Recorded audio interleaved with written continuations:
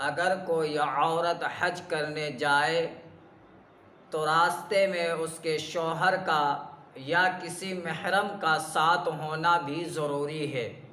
बग़ैर इसके हज के लिए जाना दुरुस्त नहीं है।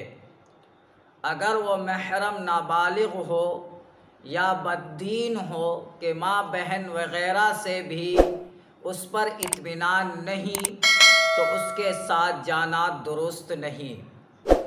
जब कोई महरम काबिल इत्मीनान साथ जाने के लिए मिल जाए तो अब हज को जाने से शोहर का रोकना दुरुस्त नहीं है। और अगर शोहर रोके भी तो उसकी ना माने और चली जाए। जो लड़की अभी जवान नहीं हुई, लेकिन जवानी के करीब हो चुकी है उसको भी बग़ैर शर्ዒ महरम के जाना दुरुस्त नहीं और गैर महरम के साथ जाना भी दुरुस्त नहीं है। जो महरम उसको हज कराने के लिए ले जाए, उसका सारा खर्च उसी पर वाजिब है जो कुछ हो दे। अगर सारी उम्र ऐसा महरम ना मिला कि जिसके साथ सफ़र करे तो हज ना करने का गुनाह ना होगा। लेकिन मरते वक्त ये वसीयत कर जाना वाजिब है कि मेरी तरफ़ से हज करा देना। मर जाने के बाद उसके वारिस उसी के माल में से किसी आदमी को खर्च देकर हज करने के लिए भेजें कि वो जाकर मुर्दे की तरफ़ से हज कर आए।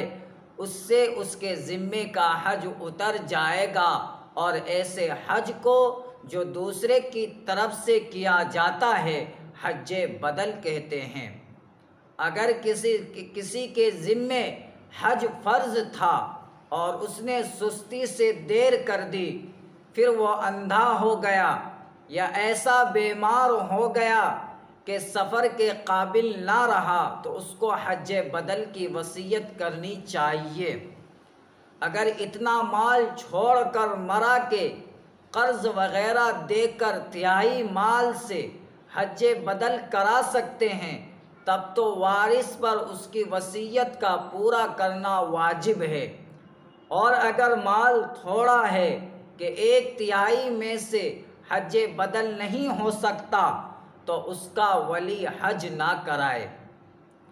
अगर वो हज बदल की वसीयत करके मर गया, लेकिन माल कम था, इसलिए तिहाई माल में हज बदल ना हो सका और तिहाई से ज़्यादा लगाने को वारिसों ने खुशी से मंजूर ना किया, इसलिए हज ना कराया कराया गया तो उस बेचारे पर कोई गुनाह नहीं।